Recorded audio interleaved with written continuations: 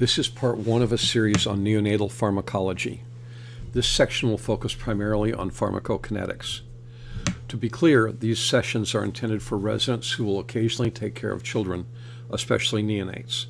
The sessions are not aimed at a level for those who are or wish to be pediatric anesthesiologists. One final caveat the lecture series is on neonatal pharmacology. I do not address issues for older patients. I have no conflicts of interest to disclose. How many times have you heard the phrase, children are not small adults? Clearly, that statement applies more to neonates than to any other group of pediatric patients. No matter what anyone says, from a pharmacologic perspective, a normal 12 year old is probably essentially indistinguishable from a normal 25 year old. You are undoubtedly familiar with the concept of orphan drugs, that is, those which are used in the treatment of a rare disease. One of the problems with orphan drugs is that their utilization is so low that it will be difficult to meet normal FDA standards regarding testing. In addition, because the diseases are uncommon, there won't be many sales. Children have been described as therapeutic orphans. Unlike the problem with obtaining data on orphan drugs because the infrequency of the condition they are designed to treat, the problem with obtaining data for drugs in pediatric patients is obviously not an inadequate number of potential subjects to participate in the study. The problem is that the constraints placed on using pediatric patients in a study are so restrictive that it's all but impossible to complete a study. Think about it from the perspective of the amount of blood necessary for the determination of a serum drug level. And then realize that in order to complete a pharmacokinetic study, that sample would have to be obtained several times during a day. The end result is that a large percentage of drugs have never been tested in children, and the drug labels often contain a specific disclaimer regarding use in pediatric patients. Furthermore, those drugs which have been tested in children commonly have not been tested on, in children under two years of age. The end result is that many of the drugs used in children every day represent off label use. Before 2002, there was no requirement that drugs be tested on children, even if the anticipation was that the, that the drug would be useful in that patient population. As a result, prior to that time, only about 20% of drugs were approved by the FDA for use in children. When administered to a child, the other 80% of drugs constituted off label use. There are several reasons why drugs were rarely tested in children. One factor is the economic considerations. Children represent a small portion of the market for most drugs. As previously mentioned, a second factor is the difficulty in performing studies. First, study techniques appropriate for adults may be challenging in children. Blood sampling, for example, while routine in an adult, is traumatic for a child. Second is the issue of informed consent. While parents can give uncontested consent for a child up to the age of seven years, older children must give assent, that is, they must agree to participate in the study. How many seven year olds will agree to have blood samples obtained repeatedly over the course of a study?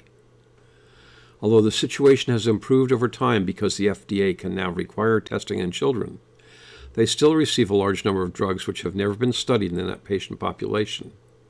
As a consequence, it is common that the adult dose of a drug is simply adjusted downward based on the weight of a child.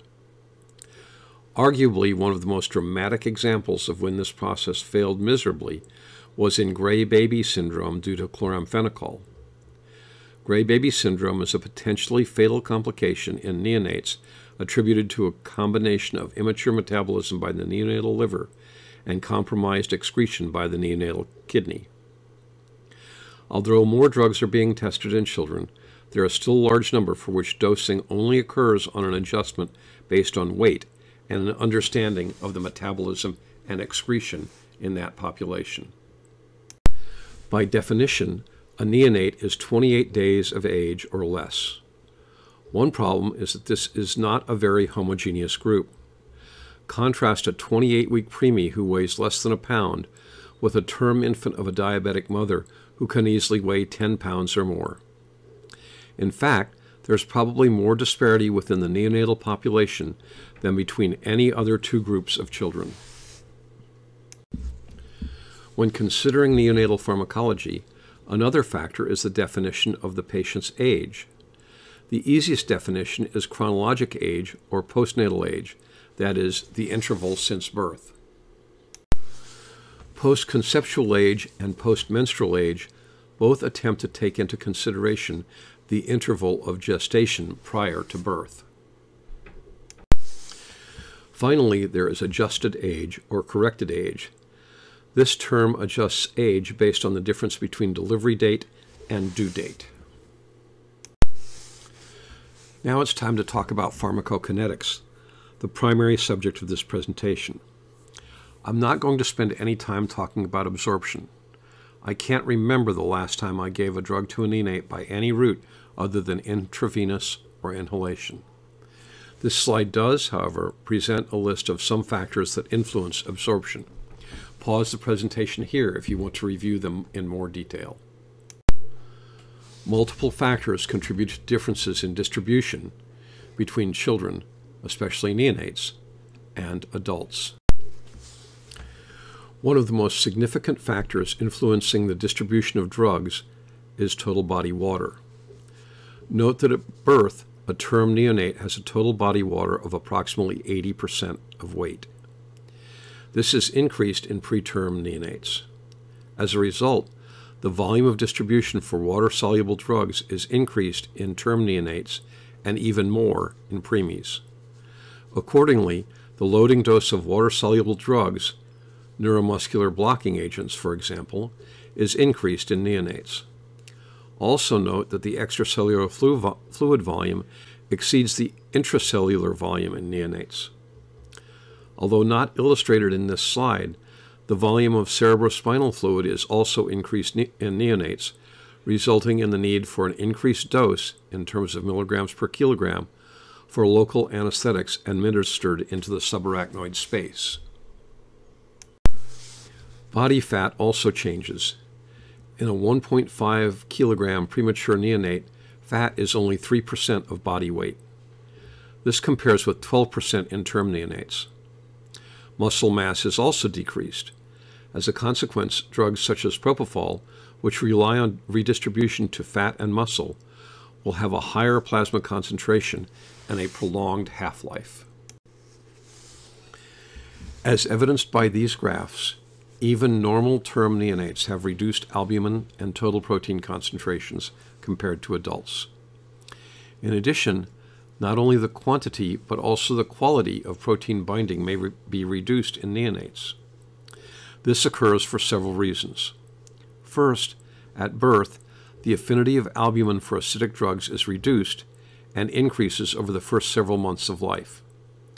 Second, the levels of alpha 1 acid glycoprotein, which binds basic drugs, is half that of adult values.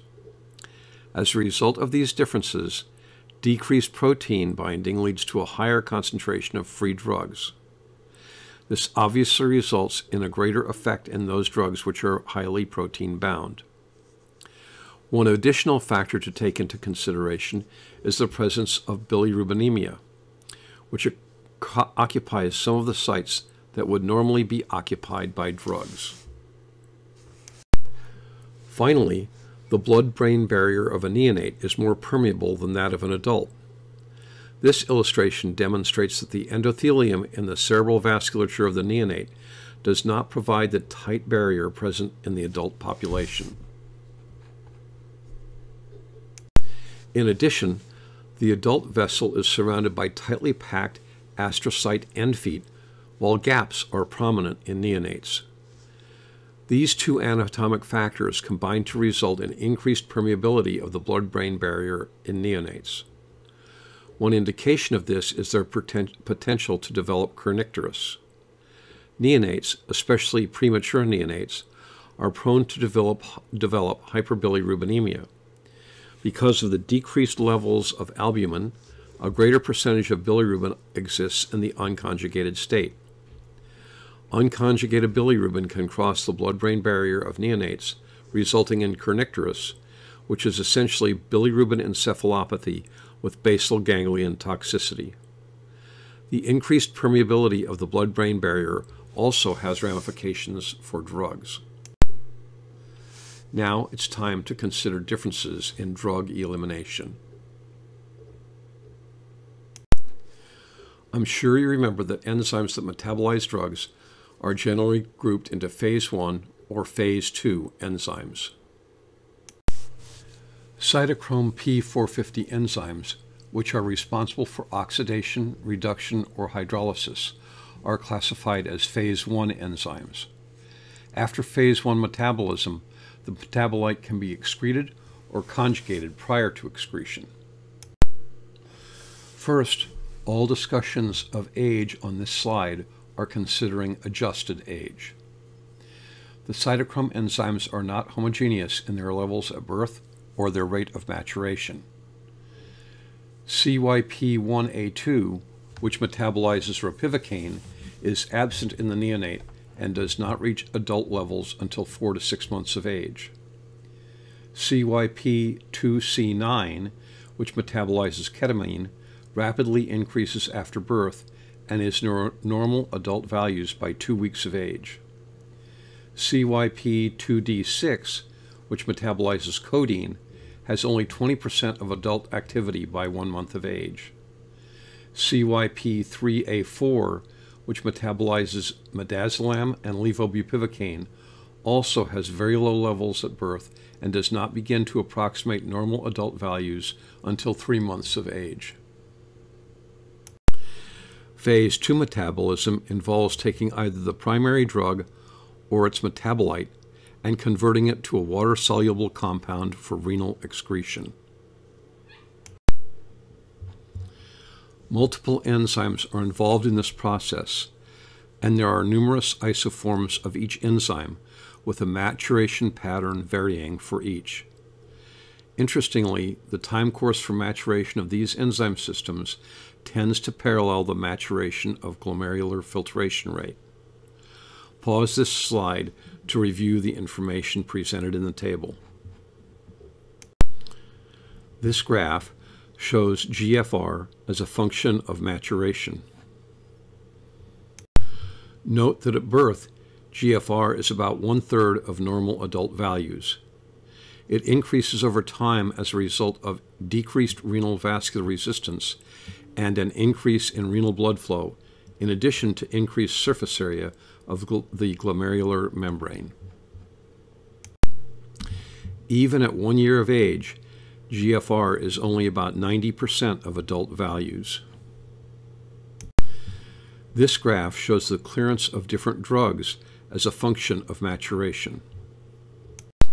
Note that age is expressed as postmenstrual age. Accordingly, a one year old born at term would show us 92 weeks on this graph.